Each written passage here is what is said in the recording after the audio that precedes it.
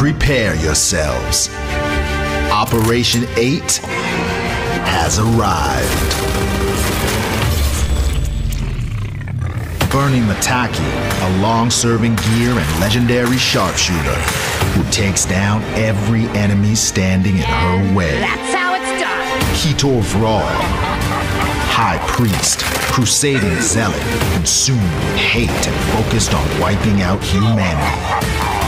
With sun barely breaking through the thick hazy mist, ritual takes place in the heart of the Galangi Islands. Back for another operation, new tour of duty. Get ready for Operation 8.